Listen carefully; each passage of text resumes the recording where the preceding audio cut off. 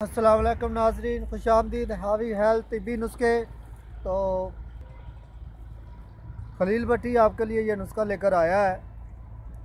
یہ پودا ہے ہرنولے کا۔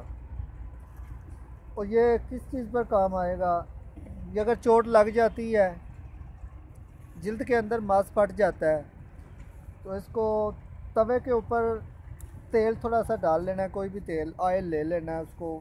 توے کے اوپر اس کو اچھی طریقے سے گرم کر لینا ہے ٹھیک ہے؟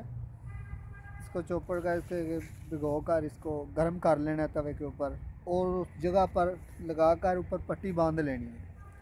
تو اللہ کے حکم سے وہ اندر جو ماس جلد کے اندر پھٹ جاتا ہے وہ بھی انشاءاللہ ٹھیک ہو جائے گا، درد، پین بھی ختم ہو جائے گی۔